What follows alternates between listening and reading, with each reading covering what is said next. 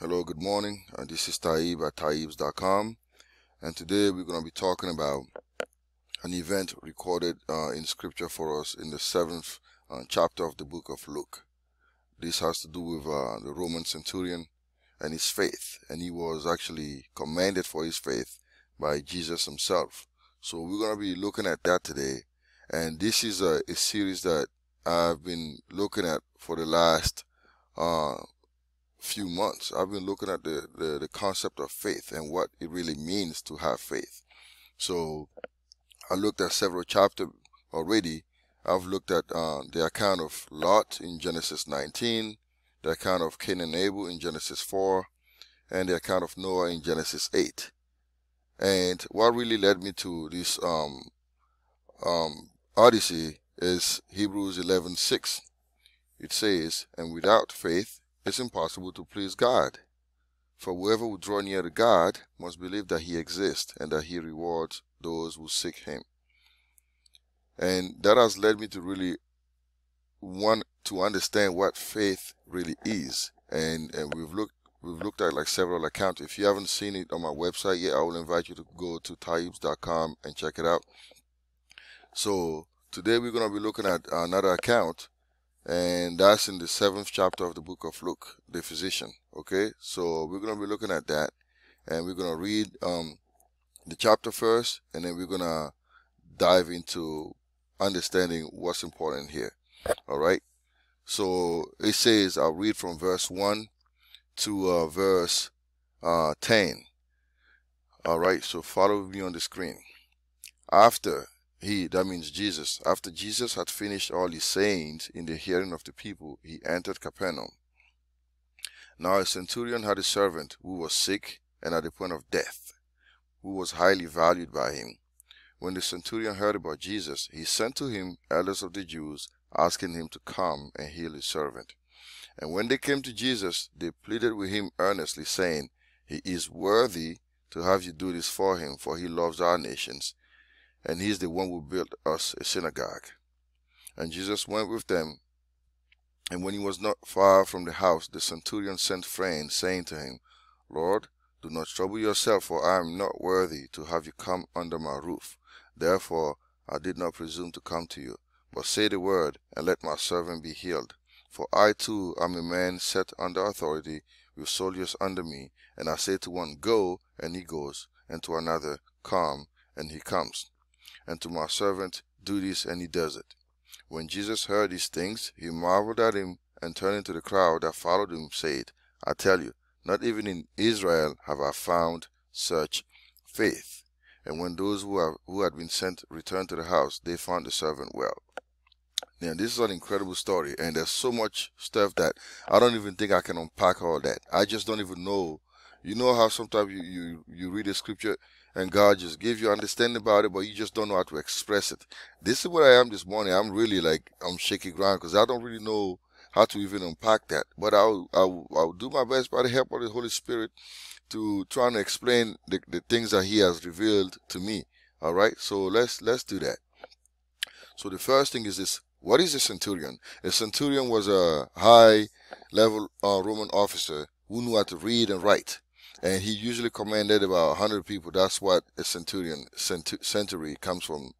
In French, is 100. So I just want to give you that quick understanding. Now, what do we learn about the centurion's character? Uh, what kind of man was he? So in Luke 7, if you look at Luke 7, which I'm going to look at now, verse 2 to 3, we read this. Now a centurion had a servant who was sick and at the point of death who was highly valued by him. When the centurion heard about Jesus, he sent to him elders of the Jews, asking him to come and heal his servant. Excuse me. So what do we learn? He cared about his servants, those who were subject to him, and he was genuine. He actually cared about his people that worked for him. So he interceded on behalf of his servant by sending elders of the Jews to Jesus with this specific, specific request to heal his servant. So we can infer from that that he loved his servant. This was a man that actually cared about people that were working for him. We also learn from the scripture that this man was a worshiper of God, an appellation usually used for non-Jews who acknowledged that Yahweh was the true God. I say this because Romans were known for their pagan religions, and this man did not run to the various idols for help. So scriptures also add that he actually built a synagogue for the Jews, so it showed that he truly worshipped the God of the Hebrews. So that's what we learn about this man. Next thing, how did the elders of the Jews view the centurion? Now, if you look at Luke 7 uh, verse 45, it says, And when they came to Jesus, they mean the elders of the Jews, they pleaded with Jesus earnestly, saying, He is worthy to have you do this for him, for he loves our nation, and he is the one who built us a synagogue. Now, from scriptures, we can see that they highly respected the guy, the centurion, and that's because of the things that he had accomplished for them. And the most important thing that he did was build them a synagogues. So they loved and appreciated the man in general, but especially for the things that he could do for them. So they wanted to return the favor by pleading Jesus to come heal his servant. And there's one word they use that reveal a lot about their view of God. They use the word worthy, which means deserving or deserves. The man was definitely worthy of a lot of honor. But was he worthy of God coming to his house to serve him is the question. You see, like they use the word, he is worthy for you to come do this thing. He deserves that you come to his house and do this thing for him. But the, the question is this. The elders of the Jews may have not quite understood who Jesus was, God incarnate, or they would have never made that statement because God owes no one anything, for from him we've received all things. And that leads me to the next uh, question. The next question. So, how did the centurion view himself before Jesus? See, unlike the elders of the Jews, the centurion did not have a transactional transactional view of God, right? And let's look at his statement of to Jesus to understand exactly how he viewed himself. In Luke 7, verse 6 to 8, it is recorded, And Jesus went with them, and when he was not far from the house, the centurion sent friends, saying to him, Lord, do not trouble yourself, for I am not worthy to have you come under my roof. Therefore I did not presume presume to come to you, but say the word, and let my servant be healed. I don't need to elaborate on this, like I said. The statement alone shows us the humility of the Roman centurion.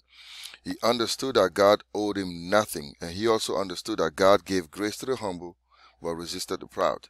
He wasn't presumptuous. He didn't think he deserved to have Jesus come to his house. As a matter of fact, he didn't even think he could approach Jesus because he saw himself as unworthy. And that's why he sent the elders of the Jews because he think I can't approach this man, so I need to send his people to go there. And that reminds us of the prayer of the tax collector in opposition to the prayer of the Pharisee. The tax collector, uh, let's look at that actually real quick, if time permits. Let's look at that. Uh, that's in uh, he also the, the this parable, right?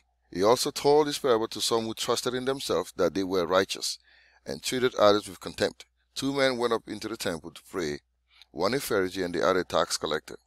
The Pharisee standing by himself prayed thus, God, I thank you that I am not like the other men, extortioners, unjust, adulterers, or even like this tax collector. I fast twice a week, I give tithes of all that I get, but the tax collector, standing far off, would not even lift up his eyes to heaven, but beat his breast, saying, God, be merciful, be merciful to me, a sinner. You see, I tell you, this man went down to his house justified, meaning the tax collector, rather than the, the other. For everyone who exalts himself will be humbled, but the one who humbles himself will be exalted. So, the the Roman centurion understood humility, and he understood that kind of stuff. He knew that he wasn't worthy of God doing anything for him. Okay? But the elders of the Jews misunderstood the centurion's intentions. And we'll see that in the next slide. The centurion's uh, grasp of faith. We, that's what we're going to be looking at next. So let's look at that. So what do we learn about the centurion's understanding of faith? Now from scripture, we understand this man knew what faith meant. He understood that faith came by hearing and hearing by the word of God. So he knew that God's word was living and active. And that's because he himself gave orders and commands and they were executed. Right?